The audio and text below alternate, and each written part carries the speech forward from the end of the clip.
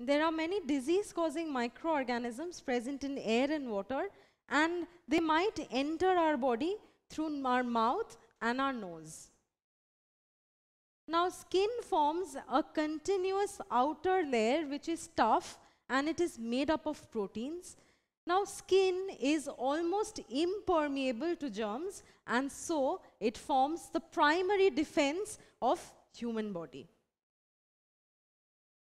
Now if germs enter through our nose, then nose has nose hair and mucus in it which traps the disease causing germs. See, the slimy mucus and the nose hair traps the germs and prevents it from entering into the body. Now, if the microorganisms are waterborne and you've somehow had contaminated water containing these germs, then there is nothing to worry. There is double line of defense present in our body. There is salivary enzymes present in our saliva which kills the germs in the mouth as well as HCl which is secreted by our stomach that kills the germs if it reaches the stomach. Now another way of providing protection to our body against germs is by sneezing, coughing and vomiting.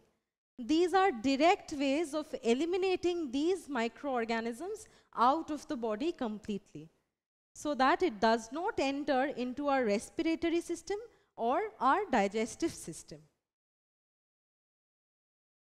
Even after all these defense mechanisms, if germs enter into the body, then these white blood cells are always ready to fight the germs through phagocytosis and by secreting antibodies.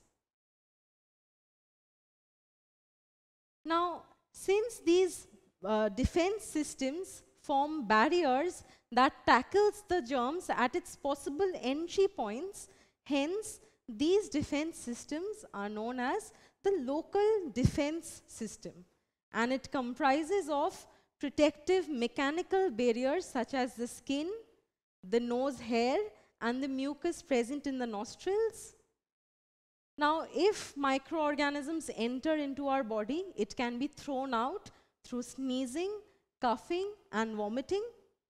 Thirdly, germ killing secretions that are present in our saliva, that is the salivary enzymes, and the hydrochloric acid that is secreted in our stomach.